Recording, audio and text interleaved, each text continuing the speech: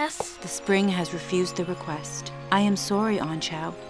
This can only mean that you are not the reigning unicorn king. But I found my father's crown.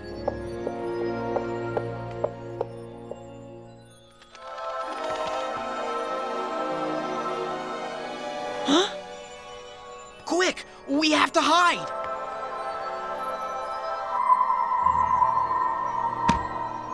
My ring! How am I supposed to warn my friends? I'll just have to find them. Stay hidden and don't move. He's dangerous. I'll come back for you. Rainbow Island! I found it! It's magnificent! Now, burn it to a crisp!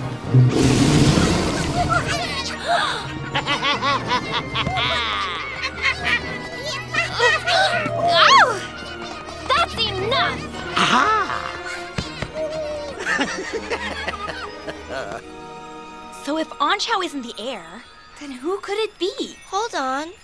What's that strange smell? Fire? Mo, what are you? Rixel, he's here! we have to stop him!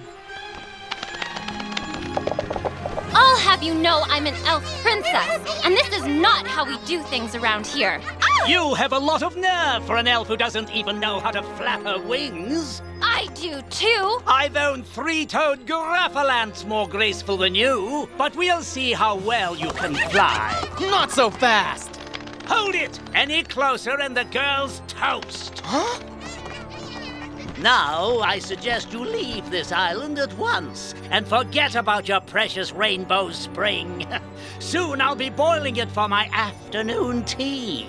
Oh! But Rixel, we already have the rainbow water right here. What? No! Onchao, let's go!